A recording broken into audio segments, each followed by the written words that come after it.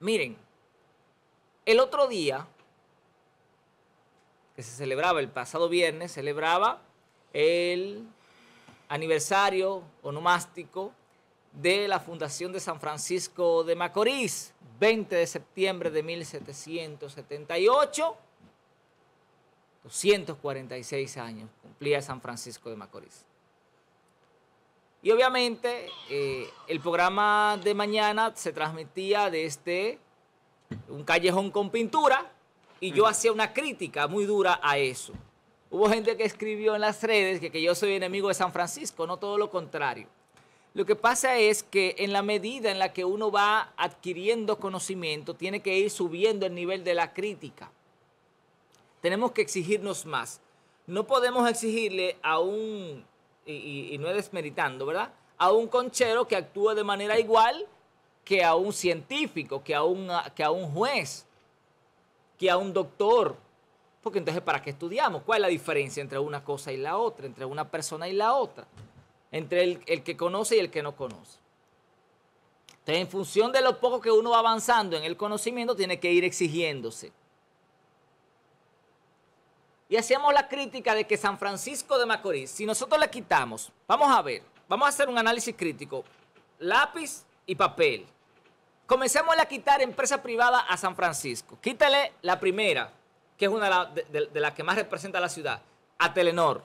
Le quitamos a Telenor y nos quedamos sin telecable en San Francisco y sin comunicación, porque aquí prácticamente, salvo las páginas que andan por ahí, no hay empresa de telecomunicación. Es más, en la región, porque en Samaná no hay, ni en la terrena.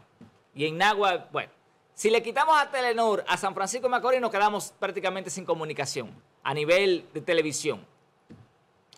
Quitémosles la segunda, la Universidad Nordestana nos quedamos sin gran parte de los profesionales y sin gran parte de los principales eventos que tenemos. Porque la Universidad Católica Nordestana es la que está aupando la mayoría de actividades. Recibe a la mayoría de actividades y le facilita su centro. Oigan esto, si aquí se va a presentar un recital de música, tiene que ser la Nordestana porque no tenemos una sala de teatro. Si aquí se va a hacer un congreso, tiene que ser en la Estana porque no tenemos un lugar donde hacer nada. Aquí no hay un lugar. ¿Qué? Un congreso, ¿dónde lo hacemos? Como es el caso del congreso que hizo el, Centro Médico Siglo XXI. Lo, hizo en la UCNE. Obviamente, la UCNE es una de las mejores escuelas de medicina del país. Y por tanto, tiene esa parte. Pero quítale la, la nordestana. Ahora vamos a quitarle la Asociación Duarte a San Francisco. ¿Qué otra empresa le quitamos? Quitémosles el porvenir. Los RISEC. Quitémosle a los RISEC. Quitémosles que tres supermercados más que hay acá. ¿Y qué queda? Te dirá, bueno, queda el cuerpo de bomberos de San Francisco de Macorís. Uno de los cuerpos de bomberos mejor equipados y preparados del país. Está entre los tres primeros lugares. Pero es algo estatal. Obviamente que no, eso lo maneja Luis Murdo y está, por está como está en ese nivel porque es Luis Murdo que se lo ha tirado encima con un grupo de hombres que trabajan ahí. No porque el Estado haya dicho, vamos a preparar a, los bomberos, vamos a hacer esto, vamos a hacer lo otro. Es Luis Murdo la cabeza de eso. Ahí llevamos ventaja. Pero luego, usted me dice, ¿qué tenemos en San Francisco? Tenemos un atleta de medalla olímpica. No, no tenemos. Pero nos estamos, estamos invirtiendo para tener atletas con medalla olímpica. No nos estamos invirtiendo. Ahí está Pablo Mora, dándolo todo él solo, desde su sudor, preparando atletas, él en su escuela. Ahí está el voleibol, ¿verdad? Con José Augusto Morel, dándolo todo él. ¿Qué tú quieres plantear con esto? Que si tú quitas esas... Em, ah, quítale al siglo XXI a San Francisco y nos quedamos prácticamente como Pedernales. De hecho, como Dajabón, atrasados. Pero esas son empresas privadas. El Estado aquí no está haciendo un trabajo, no hay una planificación de desarrollo. También, quiten las empresas de Eufemio Vargas. Y usted verá con lo que nos quedamos. Y usted dirá, ah, pero eso es parte del desarrollo. Sí, pero es privado. invite a alguien, invite a alguien a San Francisco, traiga a alguien de Santo Domingo, invítelo a San Francisco, dígame dónde usted lo va a llevar. O sea, ¿qué usted le va a mostrar? El Parque Duarte. ¿Qué usted le va a mostrar? Sendero del Cacao, ¿De quién es el Sendero de Cacao? Que no escucho bien, Francis. aquí cerca. Pero es privado. Y Pero es, pero, pero es de los RISEC. Loma ¿Lo ve? Quitepuela. Pero O sea, está ¿tú quieres bien. Pero sí, es de los RISEC. Que desde el Estado, desde los gobiernos, desde la alcaldía no tenemos nada. No hay una planificación. Por ejemplo, ahí sí. miren, aquí lo primero es que todas las calles están destruidas. Y, por ejemplo, tú te das cuenta que aquí como que no hay una planificación de nada. Aquí todo- todos los políticos que llegan hacen lo que ellos quieren de manera particular. Tenemos instituciones, pero esas instituciones han tenido que manejarse de manera prácticamente privada, las que tenemos, las ONG, que hacen buen trabajo, como es el Patronato del Cáncer, como es el Cuerpo de Bomberos, que hace muy buen trabajo, como es Loma Quita Espuela. Si tuviera mano del Estado, eso no sirviera. Pero por eso lo tienen protegido. Entonces, lo que procuramos con esto es un análisis crítico de nuestra ciudad para que no andemos de que alabando y que, miren, y que qué bonita una pared con pintura. No, eso no es una obra trascendental. Eso es un embellecimiento de una zona y punto. Eso no tiene por qué ni siquiera mencionarse. Eso debería ser eso del callejón con pintura. Debería ser todos los rincones de San Francisco de Macorís. Eso debería ser parte de un proyecto de cultura, ¿verdad? Del Ministerio de Cultura y, y el Ayuntamiento. Pero no como una obra trascendental, porque ¿qué- ¿cuál es el impacto de eso? Vayan ahí el domingo en la tarde. Yo les reto a que vayan el domingo en la tarde a ver cuánta gente ustedes encuentran ahí. No hay nadie, porque ahí no hay algo donde, que donde tú compras una, botella de agua. Está bien que, que embellecieran ese, ese espacio, pero no es una obra trascendente. No lo es. Por demás mal hecha, porque ya se está quitando la pintura. Vayan para que ustedes vean. Pero ayer en San Francisco, otro grupo de manera privada hizo una actividad. Pónganme el video.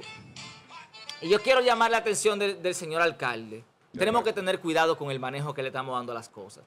Ayer se llevó a cabo aquí una actividad, lo envié al WhatsApp, muchachos, una actividad que se, llama, la de- se denomina San Francisco Corre. Y habían atletas acá de todo el país, más de 500 atletas.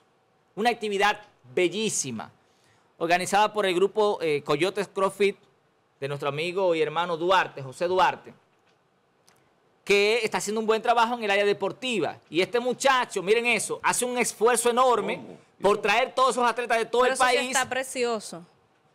Primero tiene que hacer lo indecible para que le den el permiso en el ayuntamiento. ¿Por qué? Estamos hablando de una actividad deportiva porque no se lo querían dar, de que por el tránsito y eso. Y luego le hacen terminar la actividad antes de tiempo. Yo creo que tenemos que tener cuidado. Porque Santiago, y no es haciendo comparativa, pero Santiago, cuando ese Santiago corre, cierran las calles. Y es la principal. ¿eh?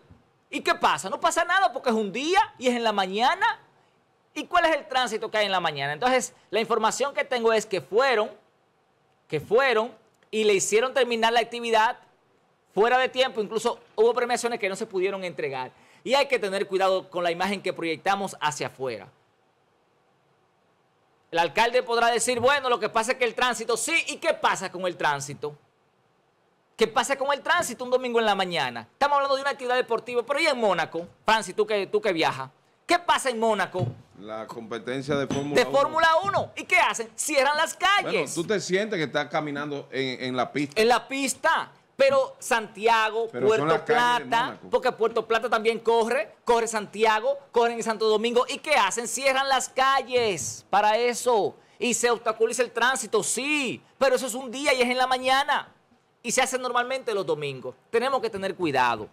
Porque estos muchachos que tienen un tiempo haciendo un esfuerzo, preparando este evento, que venden publicidad, Se llevan una mala imagen. entonces quienes el, el que vinieron- viene, que no vinieron. puede recibir su medalla, toma, mira, eh, eh, Francis, a- párame ahí, toma la medalla tuya, corre, que llegó el alcalde, y te tiran la medalla. Pero por Dios, prácticamente es así. Porque no, debe ser, señores. Tenemos que Cuidado respetar. si fue alguien que decodificó mal eh, el, el mensaje, porque si ya el alcalde había dado el... La información que tengo que fue el propio alcalde que estaba allá.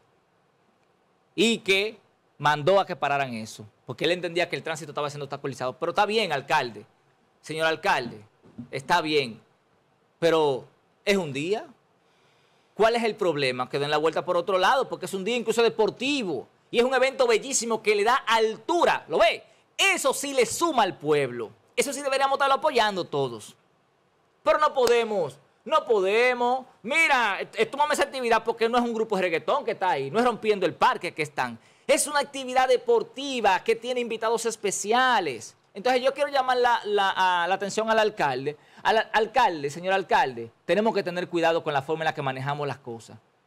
Porque un evento de esa naturaleza tiene que respetarse y tiene que valorarse. En vez de ir a tumbarlo, debimos estar ahí dando un discurso y motivando a estos muchachos que sigan trabajando en favor de este tipo de actividad que le da valor, que le suma un punto a San Francisco. Es decir, que fue masivo. Masivo, mira la cantidad de gente que hay ahí de diferentes pueblos. ¿Qué ha pasado? Entonces, llamar la atención del señor alcalde, tenemos que tener cuidado con la forma en la que nos manejamos. Tenemos que, independientemente de que seamos los alcaldes, que seamos la gente que dirige, recuérdense que la sociedad también tiene su derecho a hacer sus actividades en su pueblo.